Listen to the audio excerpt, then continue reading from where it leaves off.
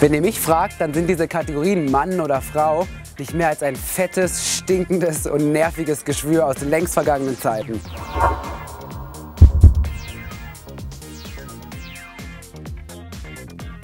Ich stelle jetzt die, die Frage. Du stellst mir die Frage. Genau, und dann gibst du mir vielleicht eine nette Antwort. Wir probieren es, okay? Okay. Was macht für dich, pass auf, ganz einfach. Was macht für dich einen Mann aus?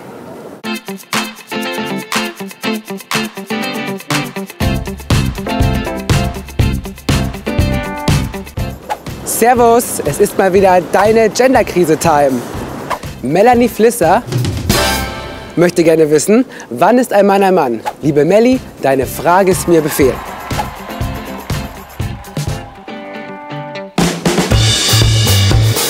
Was ist denn für dich ein richtiger Mann? Ah Ja, ein Mann muss ein Mann sein, ein Mann muss Gentleman sein, Tür aufmachen. lustig sein, Verantwortung übernehmen können, Familie ernähren können. trinken können und Spaß haben am Leben. Wie muss ein Mann aussehen, damit er als Mann wahrgenommen wird? Nicht so einen schlachsigen Körper.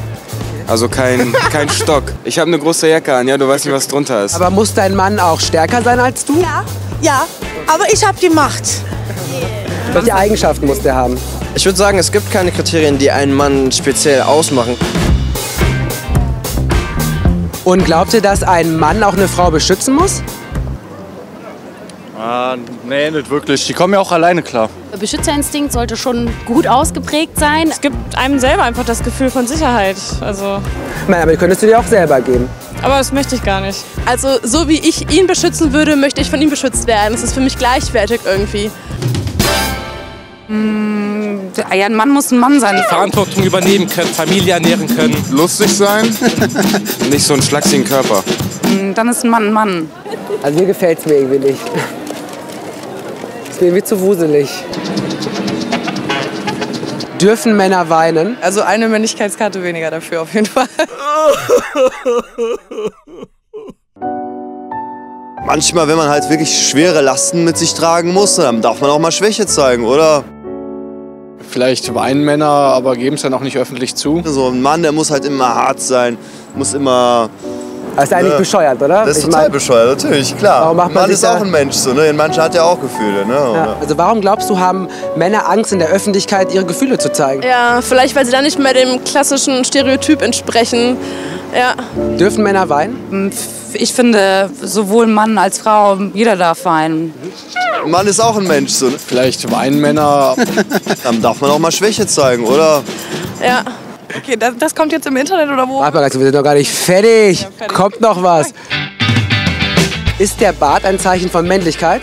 Nein. Ist kein Zeichen von Männlichkeit, aber sieht auf jeden Fall gut aus, finde ich. Es ist bewiesen worden, dass äh, Männer, die einen Bart haben, Ich mag meinen Bart. kommen besser so halt ähm, auf die Frauen.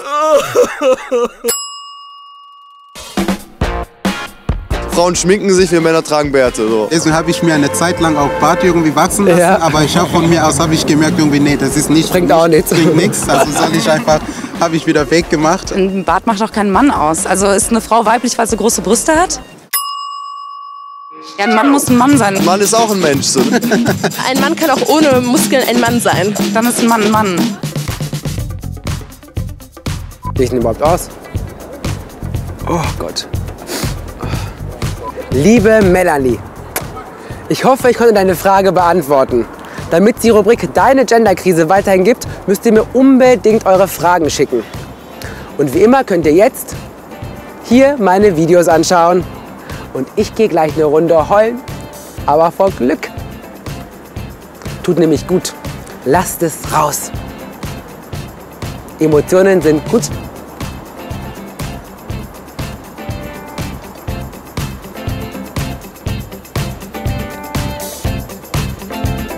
Gut, Ende.